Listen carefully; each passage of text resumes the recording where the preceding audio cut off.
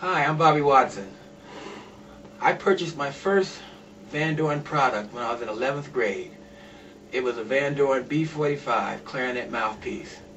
And I've been playing Vandoren mouthpieces and reeds ever since because they are the most consistent, well-made products for woodwinds and in my particular case saxophones that I have found. I was playing Vandoren before Vandoren was cool.